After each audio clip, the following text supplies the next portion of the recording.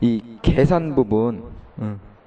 이 계산 부분은 그 여러분들 그 계리사 같은 경우에는 2차죠. 2차 시험의 보험 이론과 실무 부분에 자산 운영하고 계산 부분 항목이 큰 걸로 나옵니다. 그다음에 또 하나는 오늘 할 거 감독. 감독 기구도 어, 감독 그 관련되는 것도 2차 시험에 시험 문제가 나와요. 그 앞부분은 계리사는 안 나오는데 그리고 손사는 보험업법은 2차 시험 문제가 없기 때문에 조금 접근을 좀 달리 해주셔야 돼요. 계리사하고 손사는. 그러니까 보험 이론에서 가장 큰 게 보험 이론과 실무 나오는 때 가장 큰 게 손사도 똑같지만 음, 어, 보험 계약법에 나와 있는 거는 자세히 말하셔야 되고 보험 대사 부분은 특히 이쪽 계산, 자산 운영, 그 다음에 감독 이 부분, 이 부분은 보험 이론과 실무에 아주 큰 장으로 나오기 때문에 거기는 생각 염두에 두시고 보시면 되고요. 계산은 아, 진짜 어렵습니다. 저는 용어를 잘 모르겠더라고요, 저도. 주식회사의 경우에 계산은 상법 주식회사의 계산에 관한 규정이 있습니다. 그 다음에 상호회사는 말씀드린 것처럼 보험업법상 상호회사의 계산 규정. 그 앞에 상호회사 할 때 조금 맛배기로 나왔었죠. 그거하고 이 부분이 적용이 됩니다.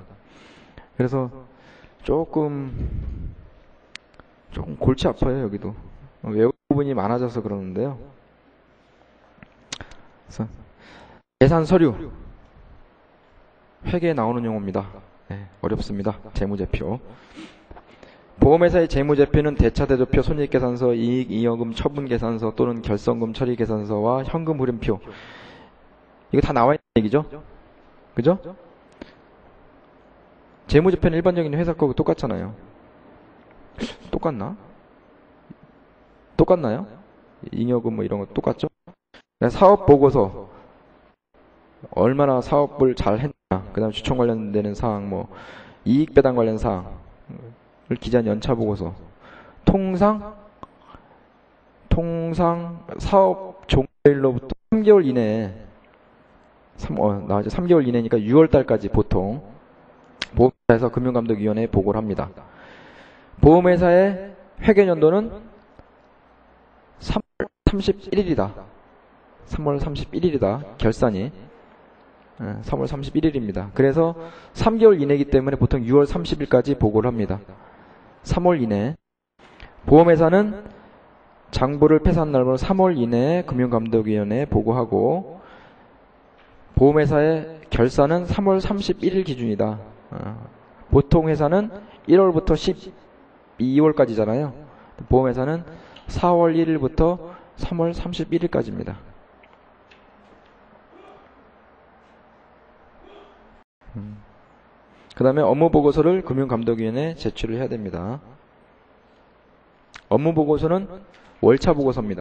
연차 보고서가 아니고요. 어, 그 다음에 전자문서에 의한 계산서류 제출은 최근에 이게 지금 만들어지고요. 전자문서에서 제출할 수 있는데 굉장히 복잡합니다. 어.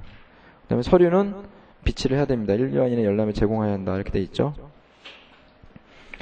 그 다음에 나와 있는 게 이제 보험 계약 준비금인데요. 요거는 요 조그만 이 계산에 나와 있는 요 조그만 틀 가지고 시험 문제 많이 나옵니다. 많이 나오고 계리사 같은 경우는 아마 여기 대, 여기 대해서 설명하라 이렇게 나옵니다. 문제가. 그래서 여기는 기본적인 것만 제가 설, 여기다 써놨는데 보험 계약법에 있는 생명보험 계약 그다음에 여러분들 손해보험 계약은 안 나오고요. 그, 그 다음 접할 수 있는 이 보험법 여기밖에 없어요.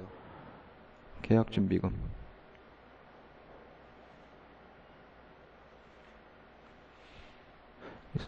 손해사정인 같으면 손해사정사 같으면 손사 이론에 이게 얘기가 나와버리거든요.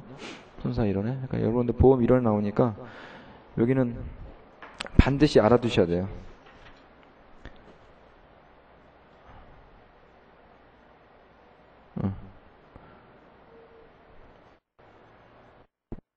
계약 준비금은 책임 준비금하고 비상 위험 준비금이 있다. 비상 위험 준비금이 있고 책임 준비금에는 보험료 적립금, 미경과 미경과 보험료, 어, 미경과 보험료 맞죠? 그 다음에 계약자 배당이 있고 또 하나가 지급증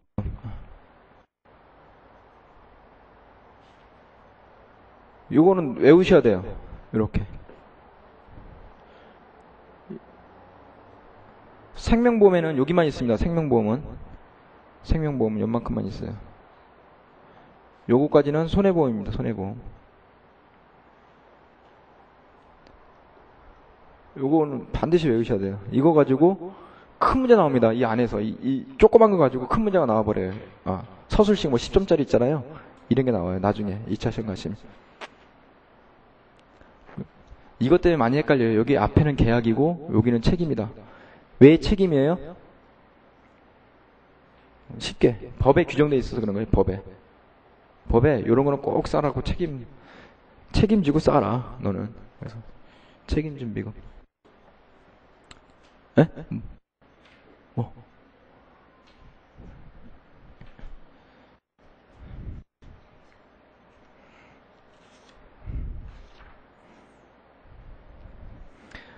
그, 이 계약 준비금은 보험회사가 보험 계약과 관련해서 보험 계약자에게 보험 계약상의 의무를 이행하기 위한 부채로서 반드시 적립해두는 준비금을 말합니다.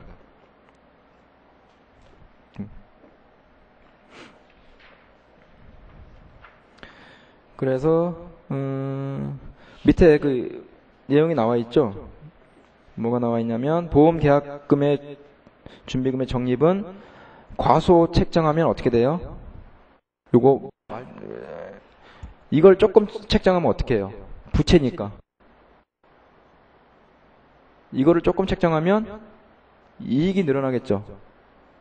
이익 배당금이 늘어나죠. 이걸 많이 이걸 많이 책정하면 이익이 줄겠죠. 이익이 계약자 배당금이 줄죠. 어.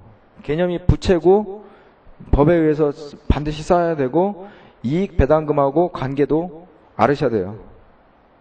밑에 나와 있는 용어. 보험계약 준비금의 적립 이유.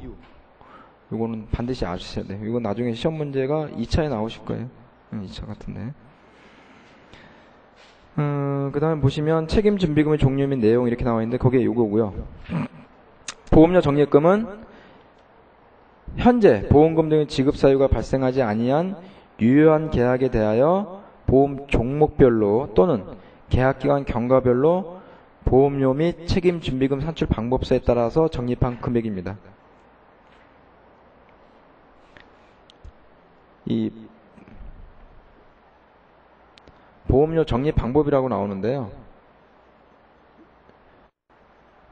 이건 어디 나와요? 보험계약법에.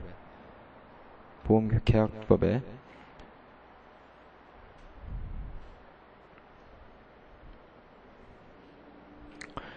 이게 보험료예요. 보험료. 여기 뭐게요? 이쪽에 표가 뭘까요? 마치면 커피 한 잔. 이쪽은 보험 기간입니다. 보험 기간. 이게 보통 이제 연도 이렇게 돼 있죠. 만약에 10살, 뭐 생명보험 예를 들자면 50살. 10살 먹은 사람이 보험료가 쌀까요? 50살 먹은 사람이 보험료 쌀까요? 10살이 더 싸겠죠. 뭐냐면 다칠 확률도 저기 아플 확률이 별로 없죠. 질병보험 같은 경우는. 그래서 보통 10살 그 일반적인 보험료 적립 방법에 따르면 보험료는 이렇게 올라가는 걸로 적립. 보험료가 기간에 따라서 쭉 올라가서 쌓여서 이 총 보험 금액이 커지는 게 이게 순 보험료 책정 방식이에요.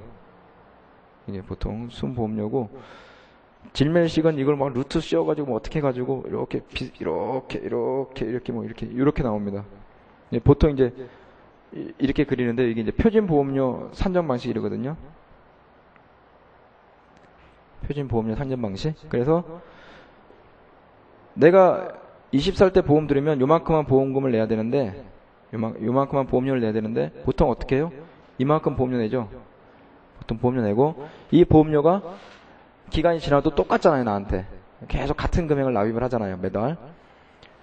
전체 보험료는 이게 쌓아버리면 요 부분 요 차에 있는 요 부분 요 차에 있는 요 부분 그러니까 전체 합은 다 똑같아져요. 그래서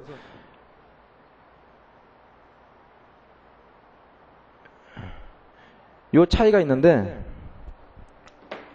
그래서 요걸 갖다가 뭐 보통 이제 진매식이다 뭐다 뭐 이렇게, 이렇게 얘기를 하는데 이 보험료 적립 방식 이런 게 두 가지가 있어요. 두 가지 있는데 보험료 적립금, 보험료 적립금은 순 보험료 있잖아요. 요거 요거 보이시죠? 이 순 보험료, 순 보험료 책정 방식에 의해서 어느 시점이든 이 금액보다 어떻게 된다? 적으면 안 된다. 요 시점에서 보험금을 요만큼만 쌓으면 내가 만약에 보험회사 에이, 요만큼만 쌓자 돈도 없는데 요만큼 쌓다 이거죠. 뭐 요만큼은 공란이 생겼어요. 돈 이만큼 받아놓고 그러면 요만큼에 대해서는 누가 손해예요? 보험 계약자가 손해죠. 예, 보험 계약자 보호하기 위해서 최소한 보험료는 이만큼 받았다 하더라도 최소한 보험료는 적립금은 요것보다는 많게 쌓아라. 어. 여기 제가 이렇게 설명하니까 도표로 그리니까 도표를 한번 그려 놓으시고요. 요게 지문에 나옵니다. 시험 지문에. 상식적으로는 이렇게 접근하면 되는데 간혹 가다가 틀린 분이 있어요. 그래서 보험료 적립 금액은 보험 종목별로 그 납입한 저축 보험료의 예정 이율로 풀이된 이자 부분을 가산한 금액을 쌓아라. 대신 평균 보험료의 납입으로 인한 자연 보험료 초과분의 적립 금액 요게 이제 보험료 적립금입니다. 지금 말씀드린 이거 이거 빨간색. 그래서 최소한 쌓을 때는 요거 이상으로 쌓아라. 나오나요 질문이? 어, 안 나오네요. 어. 그 다음에 미경과 보험료. 미경과 보험료라는 용어는 뭐냐면요.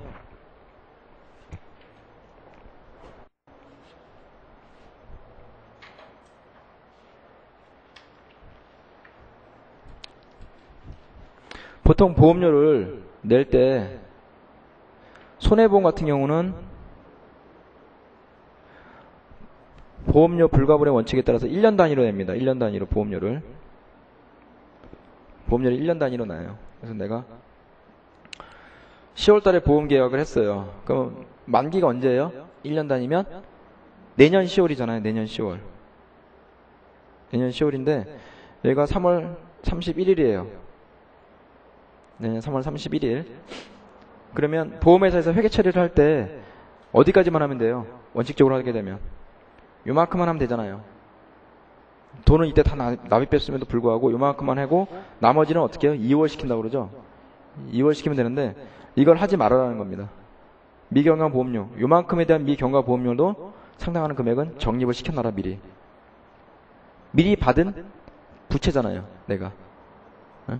그래서 이만큼도 적립시켜놔라. 그 개념입니다. 보면은 미경과 보험료는 음, 보험 사업기관과 보험료 납기관이 일반적으로 일치하지 않기 때문에 차기 연도에 해당하는 미경과 보험기관에 대해서 보험료는 준비를 해놔야 된다. 적립을 해놔야 된다. 그 다음에 지급준비금. 지급준비금은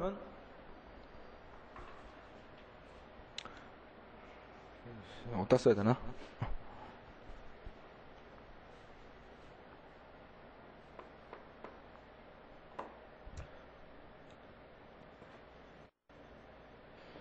지급 준비금은 내가 이제 보험료를 어, 10월달에 납입을 해서 어, 이제 내년도 10월달에 끝나는데 지금 3월 31일이고요.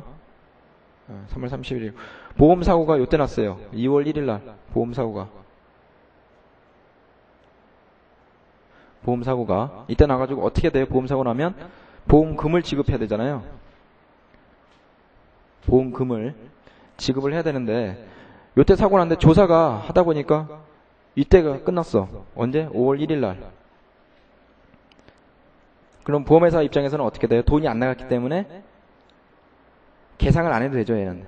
회계 처리를 안 해도 되는데 요때 나갈 걸 예상을 해서 3월 31일 날 기준으로 뭘 써야 된다? 적립을 해놔야 된다. 그 개념입니다. 이게 미경과 보험료 어, 지급준비입니다. 지급준비금. 영어로 하면 IBNR. 요게 IBNR에 대해서 설명하라. 10점짜리 나왔습니다. 문제로. IBNR. IBNR. 인, 발생했지만 not requirement. 아이씨, 영어로 갑자기 생각이 안 나네. IBNR 찾아보십시오. 내가 지금 영어로 말 뜻은 지급준비금인데 요거 10점짜리 나왔었어요. IBNR에 설명하라. 이 표 안 그려지면 이 표 딱 그려놓고 얘기하면 되게 쉽잖아요. 근데 이거 갖고 이 용어 이 똑같은 걸 갖다 영어로 써놓으니까 다 틀리더라고요. 이 용어는 incurred but not requirement 이럴 건데.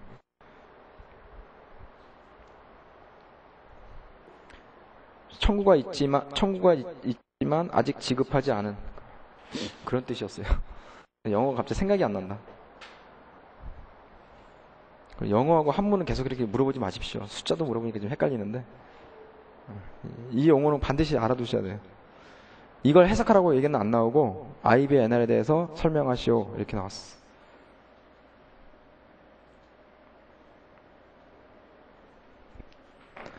그 다음에 계약자 배당금. 요거는 뻔하죠. 요즘은 별로 안 쓰는데 유배당 계약. 계약 보험 계약을 할 때 내가 얼마 얼마 운영을 해서 배당을 해주겠다 하는 요때 배당금 발생 안 했어도 미리 적립을 해야 된다. 그 요구한 수준의 그겁니다. 그 다음에 재보험의 책임 준비금 계산. 보험회사가 보험계약을 재보험에 붙인 경우에는 그 재보험 붙인 부분에 대해서는 책임 준비금을 재보험회사가 계상합니다. 원보험사가 원수 보험사가 계산하는 게 아니고요.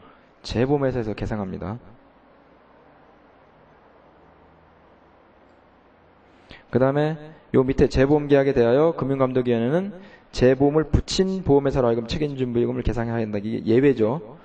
보험 위험에 전가가 있을 것, 당해 재보험 계약으로 인하여 재보험을 받은 회사에게 손실 발생 가능성이 있을 것, 재무 건전성에 관한 기준을 충족하거나 국제적으로 인정받은 신용평가 기관에 의한 최근 3년 이내 신용평가 등급이 투자 부적격일 것. 그때는 누가 한다고요? 재보험을 붙인 회사에서 합니다. 네. 어, 여기 나와 있죠. 책임준비금의 계산은 순보험료를 기준으로 한 순보험료에 의하여 계산한 금액보다 적은 금액으로 할 수 없습니다. 아까 이 표에서 얘보다 적게 할 수 없어요. 그 다음에 비상위험 준비금. 이거는 좀 다른 겁니다. 책임 준비금하고 다른 개념이에요. 비상위험 준비금은.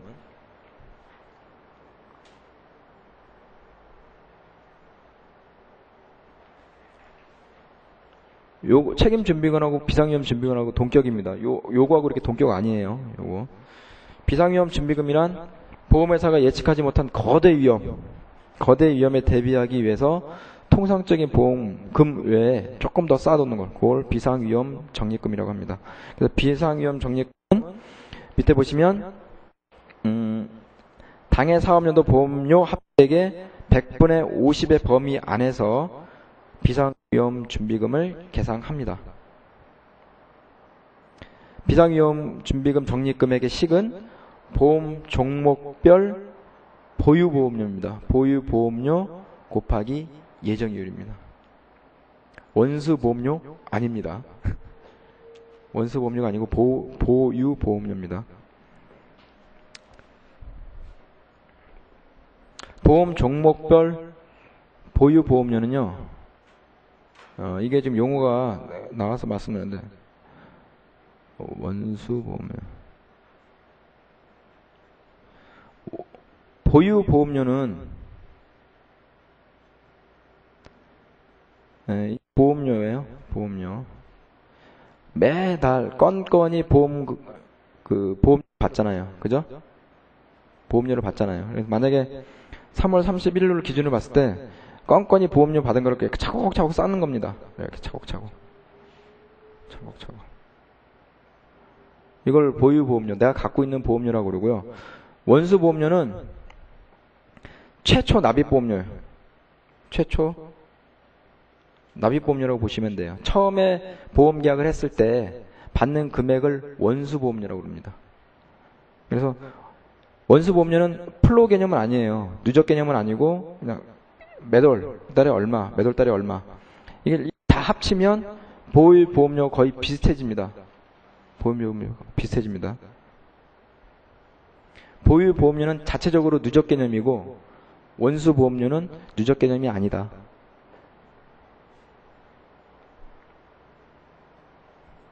보시면 되고요. 여기 나와 있는데 이제 그 다음에 나온 게 이제 배당 보험 계약의 구분 계리. 여기 아까 그 특별 계정하고 같다고 보시면 됩니다. 특별 계정하고 보험 계약은 계약자에게 배당하느냐 따라서 유배당 보험과 무배당 보험으로 구분됩니다.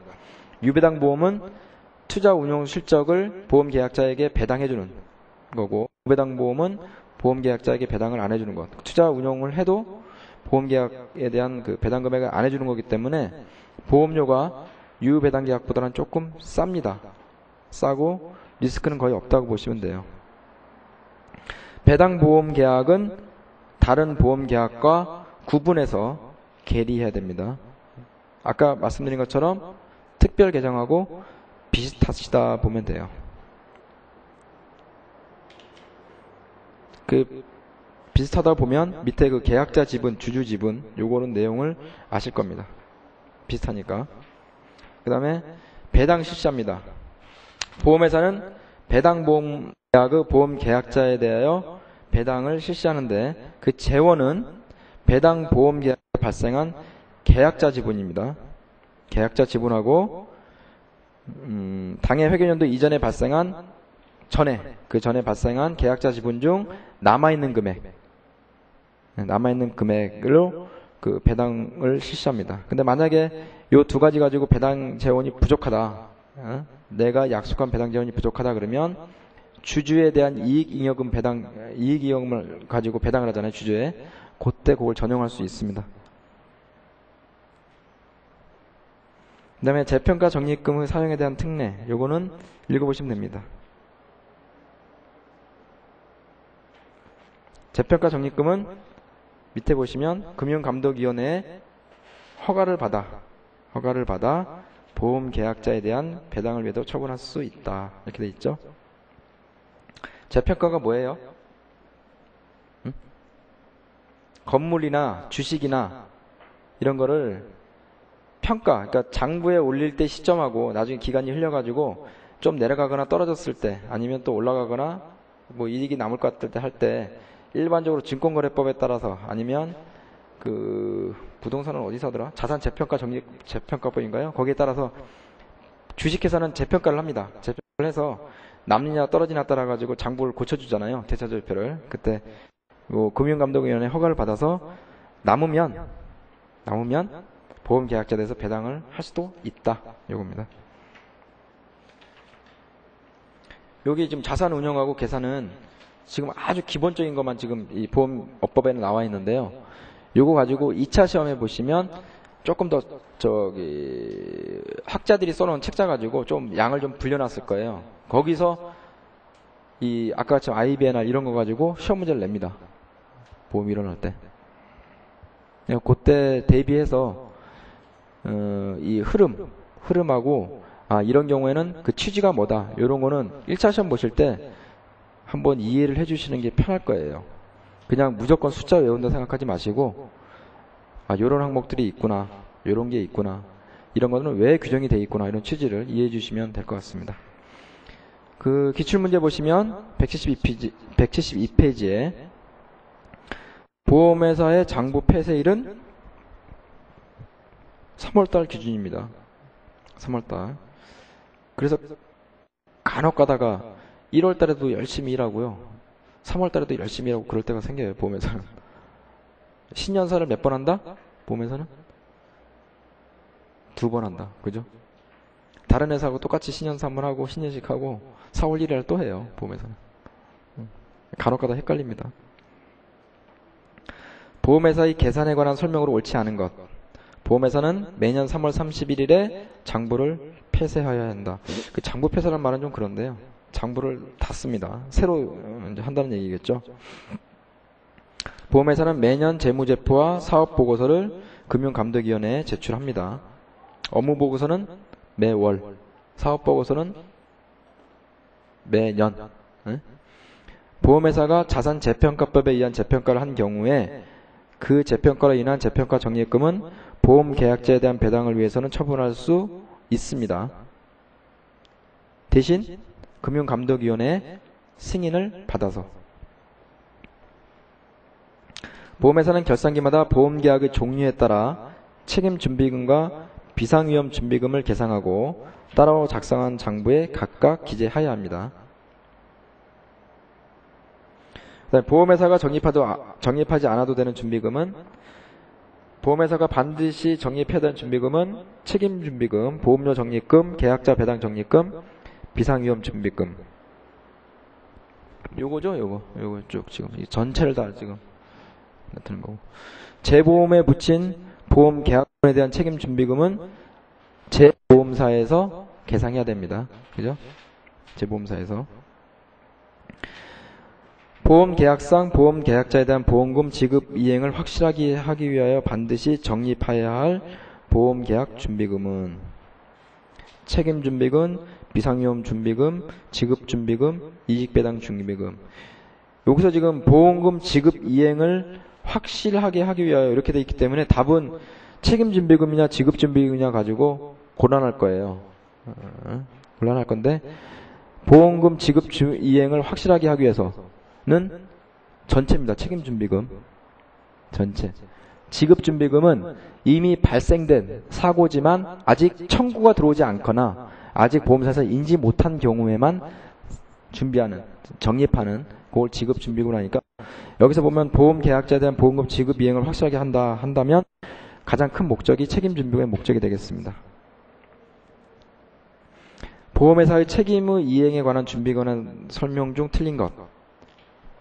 보험료 적립금은 순보험료 시기에 의하여 계산된 금액보다 소액으로 할 수 없습니다. 그죠? 원칙적으로 출제보험의 책임 준비금은 계산할 필요가 없습니다. 누가 한다고 그랬죠? 재보험사에서. 보험 계약자당은 주로 생명보험에 관한 제도이지만 손해보험에도 있습니다. 이 얘기는 맞습니다. 주로 생명보험에 대한 제도죠. 어. 보험회사는 책임 준비금과 비상위험 준비금을 적립해야 됩니다. 책임 준비금의 종류에 해당하지 않는 것 많이 나와 있으니까 예, 이제 여기서 이제 이걸 뚝 띄어놔가지고 얘가 답을 만들어 버리죠. 그죠? 보험회사의 계약자 배당을 위한 재원으로 될 수 없는 것. 계약자 배당. 이 계약자 이익 배당 준비금은 당연히 계약자 배당이겠죠. 계약자 붙었으니까. 이게 유배당 계약일 겁니다. 금리차 보장 준비금, 재평가 적립금, 계약자를 위해서 쓰는 건데요. 이익잉여금은 누구한테 하는 거죠? 이익잉여금은 주주한테. 주주한테 하는 겁니다. 이익잉여금은. 비상위험 준비금을 계상하지 않아도 보험, 되는 보험에서는 아까 제가 말씀드렸죠. 오! 지워버렸네. 네. 여기까지는 생명보험이고 요거는 손해보험까지다. 올 카바. 생명보험에서는 비상위험 준비금을 계상하지 않아도 됩니다. 생명보험에서는 왜 그럴까요? 정액보험이라 그래요. 어, 정액보험이에요. 보험 계약을 할 때 내가 나가 어떤 어떤 사유에 대해서 어느 정도의 보험을, 보험금을 받겠다라고 미리 계약을 하고 보험 어, 미리 계약을 하고 체결을 하기 때문에 비상 위험이라는 게 거의 없죠. 근데 손해보험은 뭐, 뭐 비행기가 갖다 뚝 떨어지거나 비행기가 뭐 여러 대 한꺼번에 떨어지거나 아니면 태풍이 일거나 뭐 그럴 때는 그 지역이 완전히 초토화된 이런 거는 보험회사가 미리 예상하지 못한 비상형이기 때문에 그때는 손해보험회사는 비상형 준비금 적립을 해둡니다. 비상위험 준비금의 계산 방법으로 옳은 것. 당해 사업연도 수입보험료 합계액의 예정이익률을 곱하여 계산한 금액 범위 안에서 매년 누적하여 계산한다. 수입보험료 합계액이 합계 예정을 곱해서 맞고요. 맞네 이거 같은데 장래에 지급할 보험금, 환급금 및 계약자 배당금으로 지급할 수 있는 금액을 이사회 결정으로 계산하는 건 아닙니다. 전년도 지급보험금 50%를 범위 내서 회사 형편에 따라 일정률의 금액을 계산하는 것도 회사 형편에 따라서 하는 거 아니고요. 과거 10년간 사고액을 기준으로 금융감독위원회가 정한 일정한 금액을 의무적으로 계산하는 것 아닙니다. 답은 1번이 되겠네요. 수입보험 합계액의 예정 이익률을 곱하여 음. 보험 종목별로 그죠?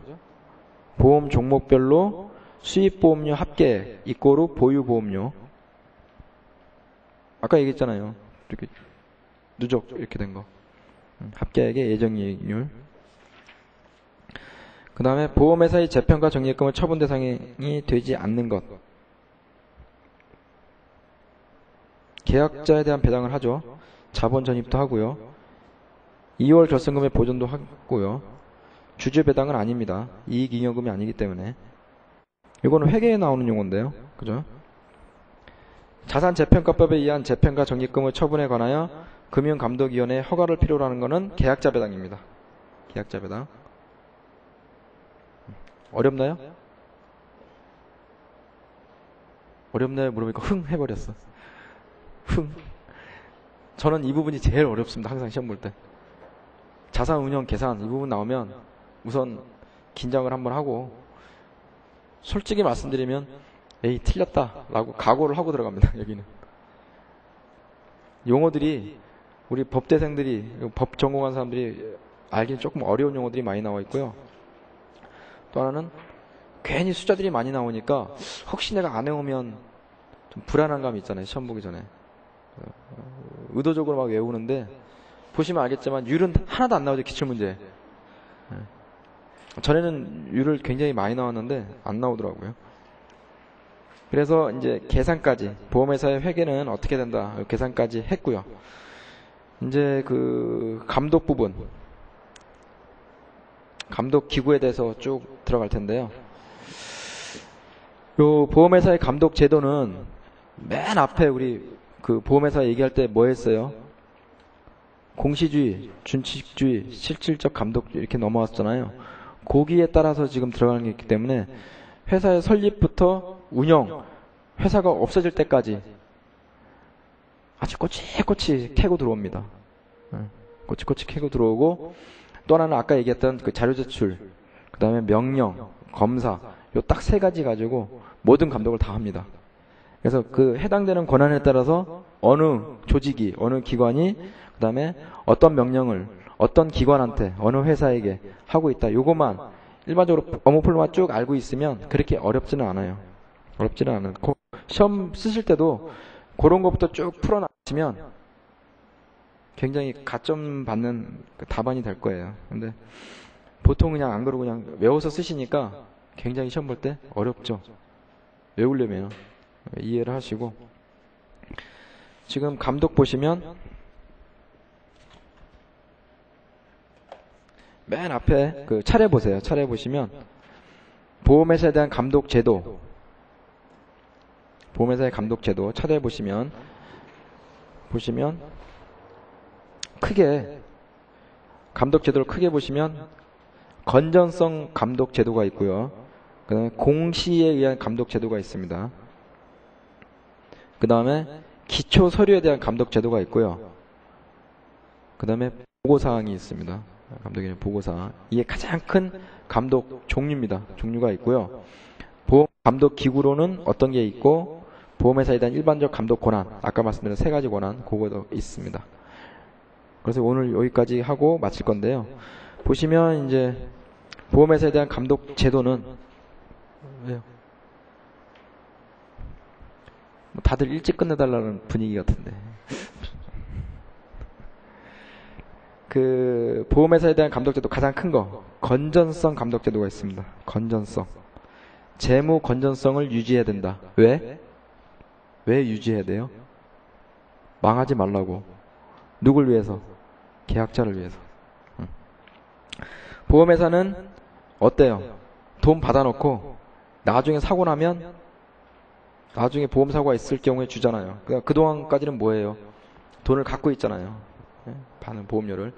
그거를 자기 마음대로 막 전행해가지고 쓰고 막 그러지 말고 보험 계약자를 위해서 일정 부분 건전하게 유지하고 건전하게 관리된다. 이게 건전성 감독제도입니다. 이게 이제 건전성 감독제도 해가지고 옆으로 이꼬로 땡띵 재무 건전성 유지 의무 띵띵 쓰시라고 재무 건전성 유지 의무 제목에다가요 건전성 감독 제도에다가 재무 건전성 유지 의무 같은 용어입니다.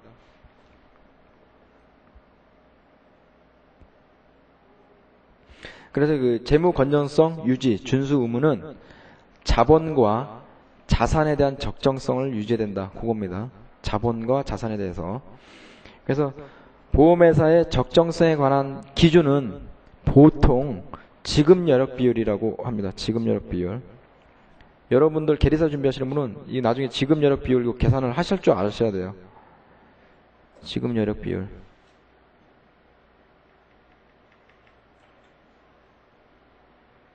은행에 똑같은 걸 뭐라고 쓰죠? 지급 여력 비율. 은행에 똑같은 거. 은행의 건전성을 할 때 뭐라고 하더라? 잊어먹었네.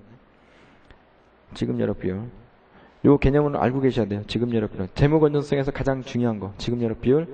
요거는 100%를 넘어야 됩니다. 무조건. 100%. 100% 넘어야 되는데 요게 이유식입니다. 이유식. 이유. 이유식. 만만밀 그런 거 말고요. 어, 이유식. 예. 요게 이제 좀 바뀔 건데 나중에 미일 미국 방식으로 넣으면 이게 조금 더 규제가 좀 세진다고 보시면 되는데 아마 바뀔 것 같아요. 나중에 유럽식 유럽식 지급 여력 비율이다. 아직 계산하는 거는 그래서 100%를 반드시 넘어야 된다. 100% 미만으로 떨어지면 만약에 보험회사가 지급 여력 비율이 100% 미만으로 떨어지면 아까 혹시 그 자산 운영 부분에 자금 차입 항목 있었죠? 자금 차입. 보험회사는 어떻게 어떻게 자금 차입을 해야 된다. 뭐 후순위 채권, 뭐 국공채 뭐 이렇게 쭉 있었어요. 거기서 돈을 빌려와서 100% 이상은 넘겨야 됩니다. 100% 이상 넘는 회사가 우리나라에 몇 개 안 됩니다. 몇 개 안 돼요.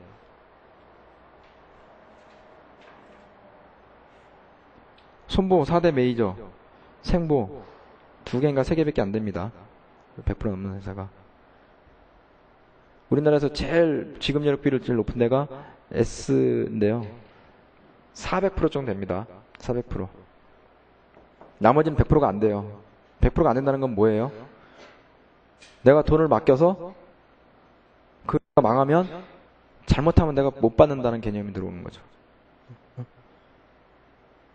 외국 보험사는 1000%가 넘습니다, 보통. 그러니까 이제 미국에서 뭐라고 그래요? 보험시장 개방하면서. 자기네는 1000%가 넘는데 우린 기준이 100%밖에 안 되잖아요. 그 비율을 올려달라는 겁니다. 미국시로 하게 되면. 비율을. 올리면 그 회사는 없애도 되잖아요. 기준이 안 맞으니까. 옛날에 IMF 때 막 그랬잖아요. 막 은행들이 막 없어지고 합병되고 그랬죠. 그 기준에 안 맞아가지고 은행들 합병할 수 있는 가장 큰 이유거든요. 그게. 그러니까 이 비율을 높이면 그 회사를 없애고 우리나라에 들어오겠다는 거죠. 자본으로 밀고 들어와서. 그래서 반드시 100% 이상은 유지를 해줘야 됩니다. 지금 현행. 지급 여력 비율이란 지급 여력 금액을 지급 여력 기준 금액으로 나눈 겁니다. 지급 여력 금액. 요거는 자본금, 계약자 배당을 위한 준비금, 대손 충당금, 후순위 차입금, 그 밖에 이에 준하는 것. 지급 여력 금액은 그러니까 내가 청구가 들어왔을 때 돈을 지급할 수 있는 여력 그 금액이라고 보시면 돼요. 내가 갖고 있는 자본, 자산이라고 보시면 되고 지급 여력 기준 금액은 지금 금융감독위원회에서 정하고 있는데요. 무진장 그 밑에 보신 시기 있죠? 지급 여력 기준 금액. 생명보험하고 손해보험 178페이지에 보시면 안 해도 됩니다. 어. 계리사 준비하시는 분은 하셔도 됩니다. 어. 지급 여력 비율은 지급 여력 금액을 지급 여력 기준 금액으로 나눈 금액이다. 그리고 무조건 100% 넘어야 된다. 100% 넘어야 된다. 그 다음에 보험회사는 보유자산의 건정성을 정기적으로 분류하고 대손 충당금을 적립해야 됩니다. 건정성은 정상, 요주의, 고정, 회수음은 추정 손실 요 다섯 단계로 분류하고 있습니다. 어, 그 밖에 이제 보험회사는 위험, 유동성 및 재보험의 관리에 관하여 금융감독위원회가 정하는 기준을 충족해야 합니다. 기타 건전성 확보를 위한 필요한 사항 이렇게 돼 있죠. 그 다음에 이런 걸 지키지 않았을 때는 금융감독위원회가 자본금 또는 기금 증액 명령, 주식 등 위험 자산의 소유 제한 등을 할 수 있습니다. 자본금 또는 기금의 증액입니다. 감액이 아니고요. 취지가 그 증액이겠죠? 음. 그 다음에 보험회사가 재무 건전성 대한 기준을 준수하고 있는지 금융감독위원회가 경영 실태 평가를 매년 1회 합니다. 경영 실태 평가를 매년 1회 합니다. 지금 어디서 해요? 금융감독위원회에서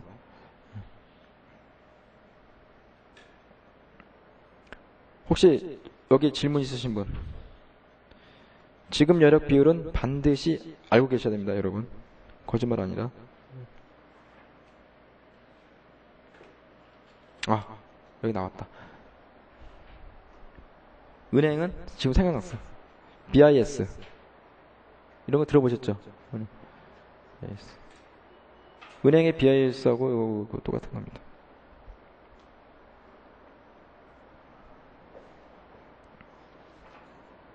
그 다음에 이제 경영 공시주의에 의한 감독제도 있는데요. 요거는 보험 회사가 무슨 뭐 어, 계산을 하거나 아니면 재무 같은 사항에 대해서 금융감독위원회에서 정하는 일정한 양식, 일정한 방식에 따라서 일반 보험 계약자, 일반인이 알 수 있도록 상태를 공시해야 된다라고 규정하고 있는 거거든요. 그래서 일반인들에게 이런 걸 밝힘으로써 건전성하고 경영의 투명성, 투명성을 확보하는 제도로서 경영 공시주의 감독 제도를 지금 하고 있습니다. 그래서 재무 및 손익에 관한 사항하고 자금의 조달, 운영에 관한 사항, 그 다음에 금융감독위원회에 의해서 발생된 뭐 명령권에 대한 조치사항 이런 거는 경영 공시에 의해서 공시를 해줘야 됩니다. 아까 뭐 있었죠 또? 변액보험에 있어가지고 운용사항을 공시해야 된다 이런 용어 있었죠. 네. 그 다음에 보험협회 비교 공시. 보험협회는 보험상품공시위원회에 그, 에 따라서 보험료, 보험금 등 보험 계약에 관한 사항을 금융감독위원회에 따라서 어, 공시를 하고 있습니다. 보험협회가.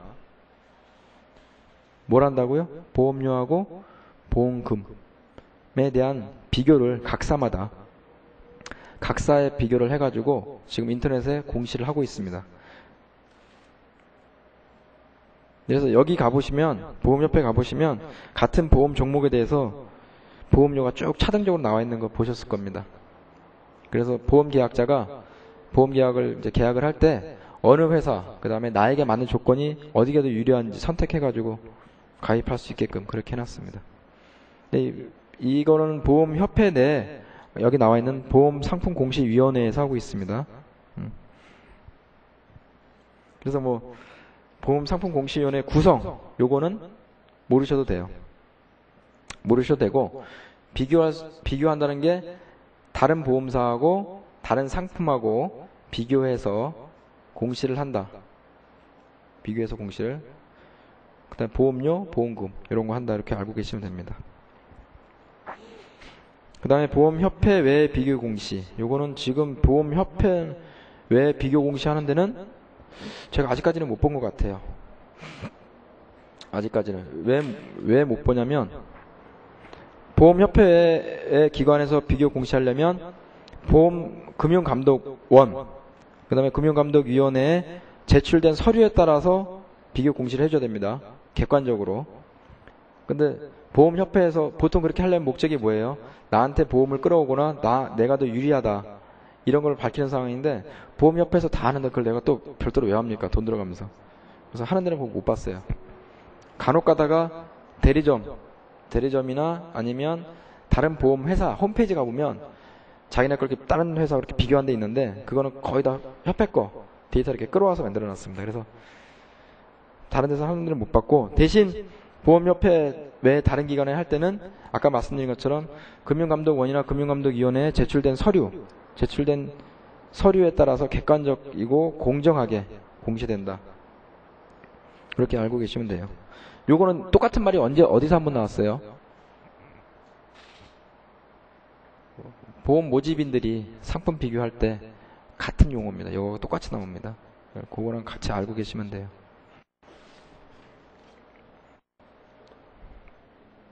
그 다음에 상호협정. 상호협정은 상호회사하고 다른 겁니다. 상호협정은 보험회사, 보험회사끼리 이런 이런 이렇게 이렇게 처리하자라고 둘이 협정 맺는 거예요. 상호협정이란 둘 이상의 보험회사가 그 업무에 관해서 공동행위를 하기 위해서 체결한 약정을 말합니다. 약정을 말하는데 보통 그 독점규제법, 독점 규제 및 공정 거래에 관한 법률 이런 게 나와 있는데 거기서는 주로 상호 협정에 대해서 어떻게 해요? 못하도록 그 법에는 이렇게 못하도록 되어 있습니다. 독점규제법에 상호 협정을 하게 되면 40% 독점권을 갖고 있는 기업하고 30% 독점권을 갖고 있는 기업하고 둘이 합쳐서 똑같이 담합할 수 있잖아요.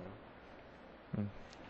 전체 시장을 10%를 혼자 한 회사가 독점하고 있는 건 똑같은 효과가 나기 때문에 독점 규제법에서 보통은 상호협정을 못하게 막아놨습니다. 막아놨는데 그 법의 예외 규정으로 다른 법 규정에 따라서 하는 경우에는 예외로 해놓는다 해서 보험회사 간의 체결하는 상호협정은 예외 규정으로 인정을 하고 있는 겁니다. 보험업법에서. 음. 대신 상호협정은 독점규제법에 따라 가지고 체결을 제한하기 때문에 금융감독위원회에서 상호협정 뭐 승인하거나 그럴 때 응? 인가받을 때 반드시 어디하고 공정거래위원회하고 협의를 해줘야 됩니다. 또 별도로 음. 금융감독위원회가 별도로 자기네만 그냥 마음대로 할 수 있는 건 아니에요. 그 보험회사 간의 협정은 반드시 손해보험회사 간 또는 생명보험회사 간의 협정에 하나는 것이 아니라 손해보험회사하고 생명보험회사 간에도 체결될 수 있습니다. 그리고 보험회사가 보험회사하고 아닌 자하고 협정을 맺을 때는 나 혼자 나는 보험회사 혼자예요. 그리고 상대 선수가 보험회사가 아니다. 이럴 때는 협정을 맺을 수가 없습니다. 보험회사하고 아닌 사람하고 협정 맺을 때는 최소한 3명이 필요해요. 3명이. 최소 3명. 최소 3기관? 3기관이 필요하죠. 보험회사 하나, 보험회사 하나, 보험회사가 아닌 사람. 이렇게 상호 협정이 가능합니다. 상호 협정이 가능한데, 요거 빼고, 보험회사 하나, 보험회사가 아닌 놈. 아닌 기관. 요거는 상호 협정을 체결할 수가 없습니다. 이거는 보험업법에서 얘기하는 체결할 수 없는데 보험업법에서 얘기하는 상호 협정이 아니에요. 이거는. 상호 협정 자체가 아닙니다.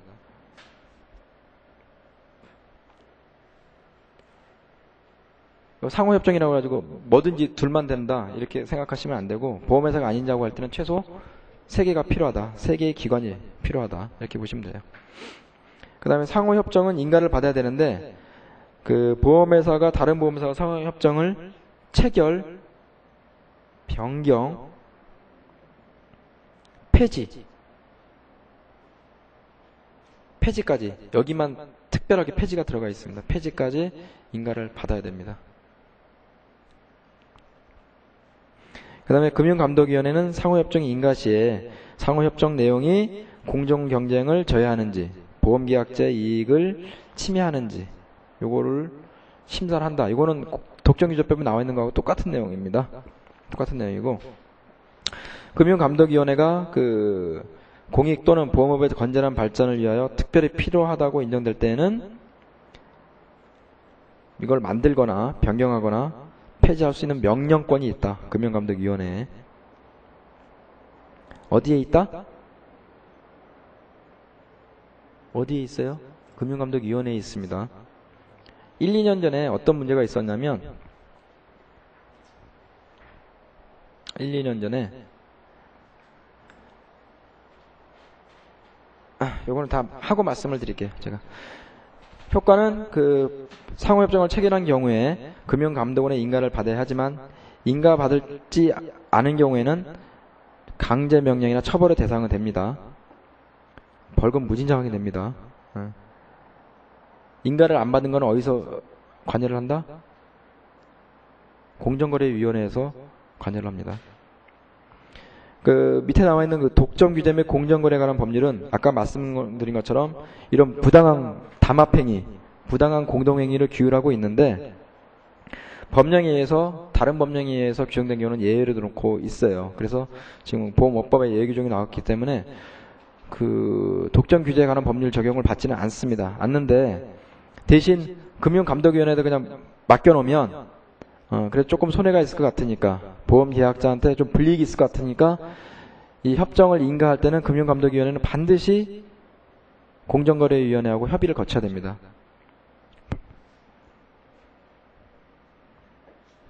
반드시 협의를 거쳐야 됩니다. 그래서 지금 밑에 보시면 손해보험회사들 간의 특별이익 제공 금지에 관한 합의가 공정거래법에 위반되는 담합 행위가 아닌지 이렇게 되어 있죠. 요거 가지고 이제 쭉 물어봤는데 이게 법적 하다가 없다고 회신했어요. 이 규정에 따라서. 근데 문제는 뭐냐면 자동차 보험료 옛날에는 똑같았죠. 아, 오, 자동차 보험 든 지가 별로 안 돼서 몰라요. 자동차 보험이 옛날에 똑같았어요. 보험료가. 보험료가 각 사마다 100만 원으로 거의 똑같았어요. 차이 나면 1, 2천 원 차이 났습니다. 왜 차이 났을까요? 올릴 때 보험사들이 다 모여서 야 내년에는 5%만 올리자 10%만 올리자 완전히 담합이죠 어, 담합입니다 담합 담합해서 5%만 올리자 뭐 10%만 올리자 이렇게 담합을 했어요 지금 이 규정에 의하면 독점규제법에 적용을 안 받죠 네? 독점 규제법에 적용을 안 받습니다.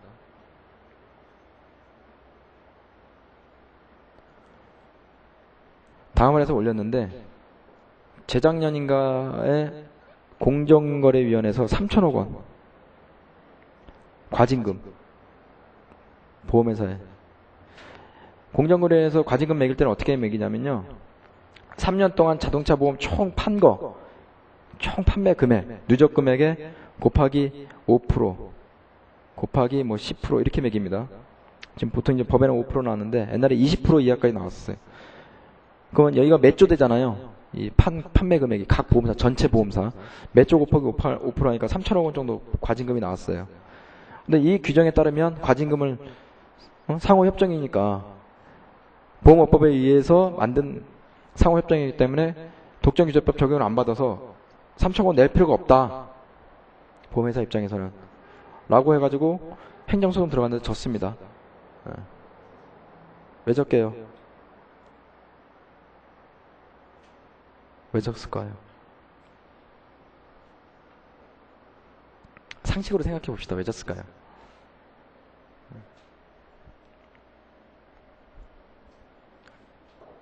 여기 계신 분들은 너무 조용해.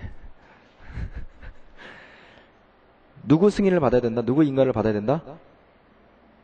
금융감독위원회 인가를 받아야 됩니다. 그런데 이 담합하는 자리에 금융감독원 국장이 와서 앉아 있었어요.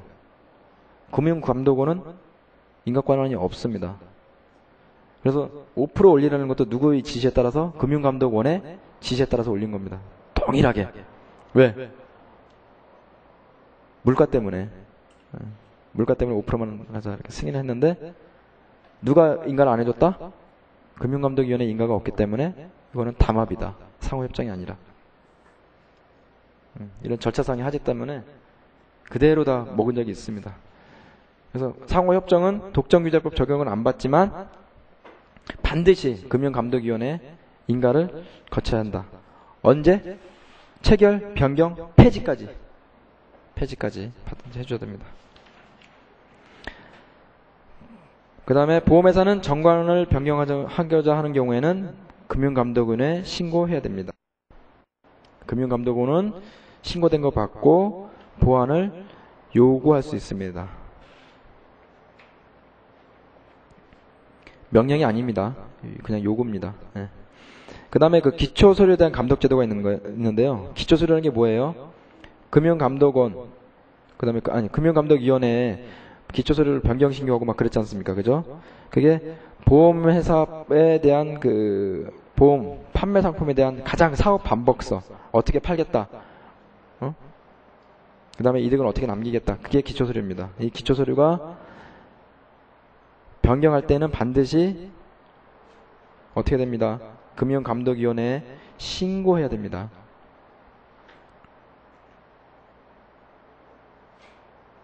여기 보면 그 어, 여기 말 써놨네요. 그 보험회사 기술을 변경하지 않은 경우에는 미리 금융감독원에 신고해야 합니다. 반드시. 음, 요거 요게 기초수리에 대한 감독제도입니다. 그러니까 뭐 하나 제도 변경하거나 사업 방법을 바꿀 때도 반드시 감독기관에 승인이나 신고를 거친 후에 해야 됩니다. 이게 뭐예요? 실질적 감독주의입니다. 예, 실질적 감독주의. 그러니까 실질적 감독주의 써라 그럴 때는 이런 용어를 막 써주면 됩니다. 나중에 실질적 감독주의와 관련된 감독 제도는 이런 것들이다. 아주 크게 아까 말씀드린 건전성, 그다음에 기초서류 변경 이런 것도 쫙 써주라는 얘기죠. 그러면 몸 답안이 아주 좋게 나오죠. 깔끔하게. 그러니까 구체적인 얘기는 안 써줘도 돼요. 안 써도 되고 이 제목 정도까지만 써줘도 굉장히 답안이 깔끔하게 나옵니다. 깔끔하게 나온다니까 기침하고 거부의 뜻인데 이거. 어. 그 다음에 그 보험료율 산출의 원칙이 있습니다. 보험료율 산출의 원칙. 보험료율 산출의 원칙은 상식적으로 접근하시면 돼요. 어. 여태까지 우리가 보험회사가 보험료율이 진짜 그 자기 마음대로 막 산출되고 그랬거든요. 그래서 지금도 우리나라의 보험료율은 거의 외국 보험료율 그대로 베껴옵니다. 100%. 100%? 좀 심했나? 99.9%. 거의 베껴와요. 어디서? 보험 개발원에서 베껴오는데 그거에 대한 업무를 보험 계리사분들이 해주셔야 돼요. 앞으로. 보험료율은 아주 비싸거나 아주 싸면 안 됩니다. 가장 합당한 통계적 기초에 따라서 보험료율이 산정돼야 된다. 이게 보험료 산정, 산정의 원칙이에요. 뭐 이것만 알고 계시면 돼요. 그래서 보험료율 산출 원칙 보시면 비과도성, 적정성, 비차별성 상식적으로 아시면 됩니다. 그 다음에 기초서류 변경 및 사연 정지 명령은요. 아까 말씀드렸지만 기초서류 변경할 때 신고를 해야 되는데 이게 아주 진짜 말도 안 되는 기초서류로 말도 안 되게 변경돼 왔다. 그럴 때는 금융감독위원회에서 어떻게 해요? 쓰지 말아라. 쓰지 말아라. 그 정지를 명할 수가 있습니다.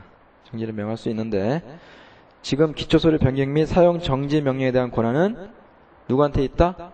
금융감독위원회에서 금융감독원에 위탁했다. 음, 위탁했다. 그 다음에 기초서류 변경의 소급 처분은 누가 정한다? 금융감독위원회에서 금융감독위원회에서 보험 계약자를 보호할 필요가 있는 경우에 한해서 이미 체결된 보험 계약에 대해서 장래 향하여 그 변경 효력을 미치게 할 수 있습니다. 이게 뭐냐면요. 10월 1일 날 보험 계약을 하고 10월 1일 날 보험 계약을 만기를 하는데 만약에 12월 1일 날 기초 서류가 변경되다 보니까 뭐가 달라져요? 보험료 산정 방법이 달라지죠. 보험료 산정 방법이나 보험금 지급 방법이 달라진다. 뭐 적게 주거나 많게 주거나. 적게 주는 방법은 변경을 인정을 안 해주겠죠. 그러니까 보험금을 많이 주게 바뀌었어요. 근데 이때 보험 든 사람은 100원 받는데 이때 보험 든 사람 150원 받아. 이때 보험 든 사람. 이때 보험 든 사람 불이익하잖아요. 그죠? 그러니까 이 보험자를 보호하기 위해서 10월 1일 날 이미 보험 계약이 체결된 걸 가지고 장래 향해서 요때만 요때까지는 이렇게 가고 요 기간에 한해서 기초서류 변경된 거하고 똑같이 이 변경된 효력을 그대로 인정해 주는 겁니다. 네, 효력 그대로. 굉장히 많습니다. 아니요. 이렇게 되면 어떻게 돼요? 보험회사 입장에서는 손해잖아요. 보험회사 입장에서는 굉장히 손해라 굉장히 다툼이 많습니다. 이런 거죠. 소급 처분이 금융감독위원회가 할 수 있다. 어, 할 수 있습니다. 지금 말씀드린 거. 할 수 없다가 답이 아니에요. 할 수 있다. 그 다음에 그 기초서류 변경에 따른 보험계약자 구제에 보시면 이미 체결된 보험계약에 의해 납입한 보험료 일부를 환급하거나 보험금을 증액할 수가 있습니다. 보험계약자 보호를 위해서. 어. 그 다음에 그 보고사항이 있죠. 일반적인 보고사항인데요. 금융감독위원회에 보고하는 대한 사항. 상호 명칭 변경, 임원, 선임, 해임, 본점의 영업을 중지 재개, 대통령이 정하는 최대 주주 변경이 있는 때, 이때는 금융감독위원회에 보고해야 됩니다. 각 보험사에서 헷갈리는 거. 금융감독원 에 전에 한번 그 말씀 드렸죠. 주로 주로 감독할 때 주로 감독 걸리면 주로 위원회다. 답 찍을 때 주로 위원회다 보시면 돼요. 근데 보험회사 직원들이 많이 틀려요. 왜냐하면 일반적으로 보험회사 직원이 실무를 하다 보면 제일 많이 부딪히는 데가 금융감 금감원이에요. 금감원. 금융감독위원회는 거의 부딪힐 일이 없습니다. 직접적으로. 그러다 보니까 시험 문제 때 공부 안 하고 딱 보면 자기 실무에 딱 입청해가지고 어, 보고 금감원 했는데 금감원 딱 찍는다고요. 틀립니다. 그래서 나중에 임원 해임 같은 것도 금융감독위원회에 보고해야 되는데 주로 보험회사 직원들이 금감원에 보고를 해요. 저도 그랬어요. 음. 금감원인 줄 알고. 어, 떻게 돼요? 나중에 금융감독원에서 기간 지났는데 왜 보고 안 하느냐. 그러면 벌금을 먹거나 내가 징계를 받거나 임원을 다른 사람을 교체하거나 새로 보고해서 이런 사태가 벌어집니다. 그래서 주로 감독에 관한 거는 금융감독 위원회다. 금융감독원 아니다. 금융감독원에 나와 있는 권한만 나중에 외우시면 되잖아요. 그죠? 몇 개 안 되니까. 나머지는 그냥 금융감독위원회다 이렇게 알고 계시면 되잖아요. 되게 편하게. 거꾸로 조금 무식하게 금융감독위원회에 있는 권한 다 외우실 필요가 없다는 얘기. 저는 다 외웠습니다. 옛날에. 아, 진짜 힘들었어요. 자, 이제 그 보험 감독기구와 감독 이 부분 나옵니다. 2절. 전에 혹시 그 표 그리셨나요? 재경부 이렇게 해놓고 또 또 또 또또 금감이 또 금감원 또 연수원, 개발원,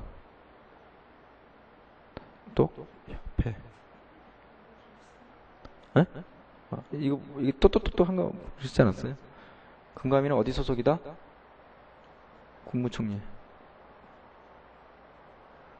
금감위는 뭐가 있다? 증권선물위원회. 그러니까 여기에서는 이렇게 또 나눠져요.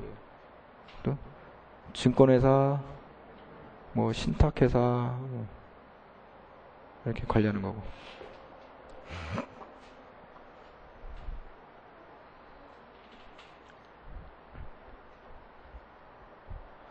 금감위는 그 금, 금융감독기구 등의 설치에 관한 법률 외우기도 힘든데 그 법에 따라서 만든 행정관청이에요 얘는 얘는 행정관청입니다 얘는 그 법에 따라서 만든 비영리 특수법인이에요. 그 법에 따라서 만든. 얘는 행정관청이 아닙니다. 금감원은 행정관청이 아니에요. 금감위는 공무원이고 얘는 공무원이 아닙니다. 네. 여기 밑에 이제 한국은행 나오잖아요. 또 한국은행.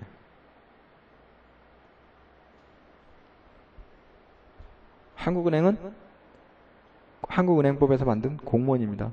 네, 재경부 소속에. 그래서 금과 미가 굉장히 높고요. 그 전에는 요게 제도가 없었어요. 여기 없고 재경부에서 바로 다이렉트로 재경부에서 옛날에는 재경부에서 바로 다이렉트로 이렇게 내려가고 보험감독원, 은행감독원, 뭐 신용기관 감독, 신용보증 보증 감 뭐, 보증 감독원인가 이렇게 증권 감독원 이렇게 이렇게 따로 돼 있었어요. 그러니까 요거를 합쳐가지고 금융감독원으로 넘기고 재경부에 있는 권한을 금감위로 넘기고 재경부는 뭐만 갖고 있다? 법령 재정권만 법령 재정 정책권만 갖고 있다. 금감원은 검사권을 다 갖고 있다. 검사권. 금감위는 명령권 다 갖고 있다. 이렇게 보시면 됩니다. 이렇게. 다 했죠, 이제. 뒤로 안 해도 되죠. 끝. 감사합니다. 빨리 끝내도 된다며요. 끝한다며. 네, 감독 기구는 이렇게 돼 있다. 그래서 이게 생긴 거는 99년도 그 IMF 때 이렇게 좀 외부 기관에 따라서 만들었습니다. 아, 그 뭐지? 외부 기관이라 그 선진국의 뭐그 뭐 뭐 제도를 따와서 이렇게 만들었어요. 그래서 금융감독위원회는 금융감독기구 설의 설치 등에 관한 법률에 의해 설립된 회의체 행정기관입니다. 실질적 최고 감독기구고요. 금융감독원을 지시 감독합니다. 금융감독위원회는 국무총리 소속하에 있습니다. 소속하에 있고요. 구성은 총 9명으로 되어 있어요. 위원장은 국무회의의 심의를 거쳐 대통령이 임명하고요. 금융감독위원회 부위원장은 재경부 장관의 제청으로 대통령이 임명합니다. 대통령이. 금융감독 원장이 아마 금융감독 원장이 금융감독위원회 원장하고 똑같을 겁니다. 아, 똑같습니다. 얘 원장이 얘 원장이에요. 예. 동일인입니다. 동일인. 동일인. 예. 간혹 가다가 동일이다 보니까 얘가 얘가 교통사고 나서 죽었어요. 원장이. 그러면 차순위자가 누구 다느냐? 차순위자가. 그랬더니 어떤 사람이 금융감독 원장이 됩니다. 이렇게 얘기한 사람이 있습니다. 같은 사람인데 여기선 죽었고 여기선 살았다. 그런 거 생각하는 것 같아요. 아홉 명 돼 있고 대통령이 임명합니다. 대통령이.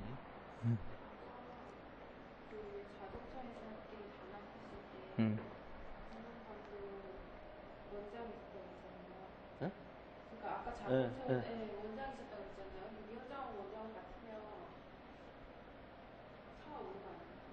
아, 그거는 위원장하고 원장하고 같다. 근데 하는 일이 완전히 다르고요. 법에 의해서 권한이 다 다릅니다. 그래서 동일인이 같은 직책을 수행을 하고 있어요. 원장도 하고 이쪽 원장도 하고 있는데 하는 업무가 주체가 다르죠. 법에 의해서 준 권한이. 금융감독원 원장으로서 하는 업무 영역 스코프하고 금융감독위원회 업무 영역 스코프하고 전혀 다릅니다. 내가 여기서 얘기하고 있다고 그래서 내가 우리 회사 지, 직원들한테 얘기하는 건 아니잖아요. 그 똑같거든요. 그러니까 자기 권한 자체가 다릅니다. 참석했어도 그래서 그래요. 그래서 대통령이 임명을 한다. 좋습니다. 파워 막강합니다. 대신 이 사람들은 월급이 적어요. 공무원이기 때문에. 이 사람들은 월급이 무진장 많아요. 공무원이 아니기 때문에. 어, 굉장히 월급 많습니다. 신랑감으로 제일 좋습니다. 요즘. 그래서 임기는 3년으로 한다. 음. 운영 뭐 이런 거는 보실 필요 없습니다. 운영은 뭐 어떻게 된다 뭐 이런 거 보실 필요 없고 금융감독위원회 소관 업무를 보시면 금융감 금융기관에 대한 감독과 관련된 규정의 제정 및 개정, 금융기관의 설립, 합병, 전환, 영업, 양수 등 인허가, 금융기관의 경영과 관련된 인허가, 금융기관에 대한 검사, 제재 관련된 사항, 증권 선물 시장의 감리 감독 및 감시에 관한 사항. 이건 증권 선물위원회에서 합니다. 5분 항목 증권 선물위원회에서 하는데요. 지금 보시면 금융기관의 감독은 총괄한다 이렇게 보시면 돼요. 금융감독위원회에서. 그죠? 그 다음에 금융감독위원회는 금융감독원을 또 감독한다. 그 뒤에 사항입니다. 그 다음에 그 증권선물위원회는 금융감독위원회, 증권선물위원회가 별도로 나와 있습니다. 선물위원회가. 이거, 또 무서운 조직입니다. 그게 보시면 증권 선물시장의 불공정 거래 조사하고 기업 회계 기준 및 회계 감리에 관한 업무를 합니다.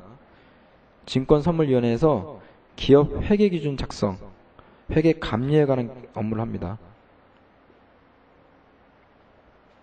아무도 호응이 없으시네. 두 번 읽었는데 일부러.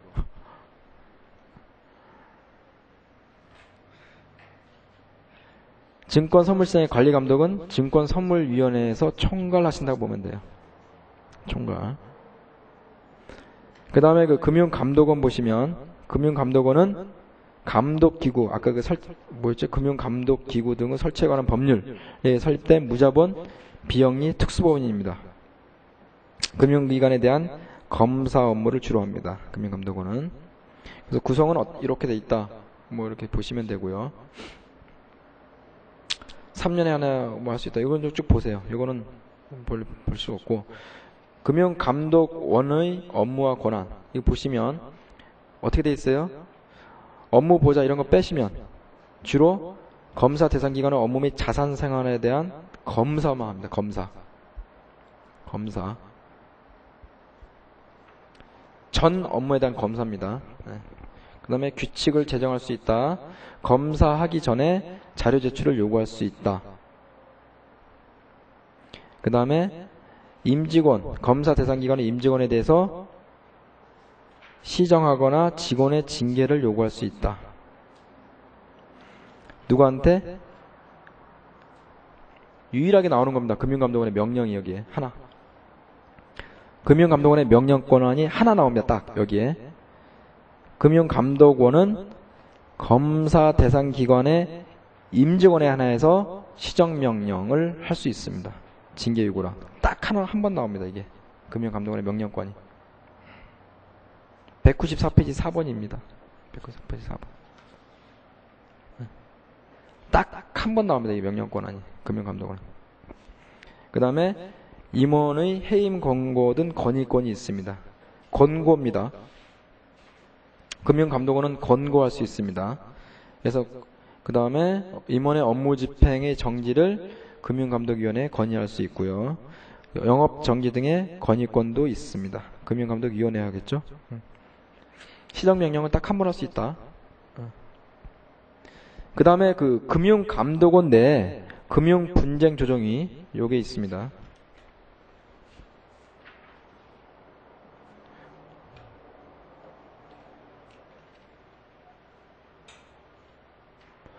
증권선물위원회는 금감원이고요.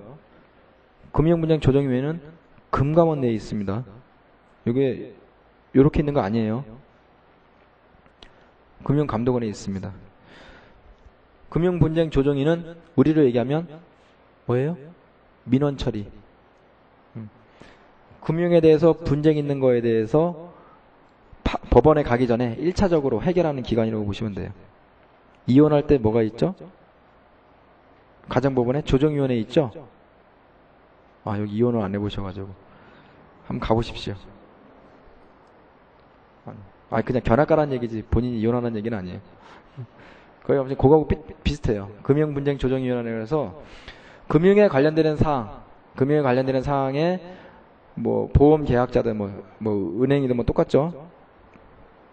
그 뭐지 상대 보험 같은 보험 계약자, 은행 같으면 저축한 사람, 증권회사 증권회사 같으면 주식을 거래한 사람, 수수료 가지고 그런 사람하고 금융기관, 전 금융기관하고 분쟁이 있다. 그럴 때는 먼저 법원에 가기 전에 법원에 가서 소송을 하기 전에 금융분쟁조정위원회에 조정 신청을 해서 분쟁에 대한 신속한 해결을 할 수 있습니다. 그 신속한 해결을 하고 조정의 조정 결정서가 양 당사자가 동의를 하게 되면 법원의 확정 판결하고 똑같은 효력이 발생합니다. 똑같은 효력이. 그래서 금융분쟁 조정위원회가 이렇게 돼 있다 이렇게 보시면 되고요. 분쟁의 조정 절차 혹시 심심하면 한번 해보십시오. 이건 겪어봐야지 알아요. 어.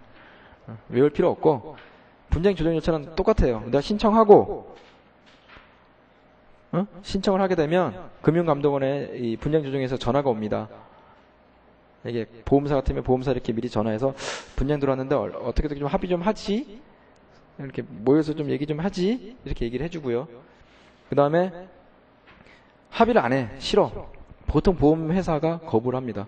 못하겠어. 이렇게 하게 되면 조정위원회에 회부를 합니다. 그래가지고 조정위원 놓고 판결하는 거하고 똑같이 증거에 의해서 조정을 합니다. 조정을 해서 각 당사자에 통보를 해줘요. 어, 통보를 하고 통보를 해줘서 한 당사자가 이것도 안 할래. 에? 내가 이거 인정 못하겠다면 법원으로 갑니다. 어, 법원을 가서 이제 조정이 마, 마치게 되고요. 만약에 조정하는 도중에 소송이 들어왔다. 그러면 조정은 중지가 되고 소송 법원에 있는 소송이 우선해요. 우선해서 업무가 처리가 됩니다.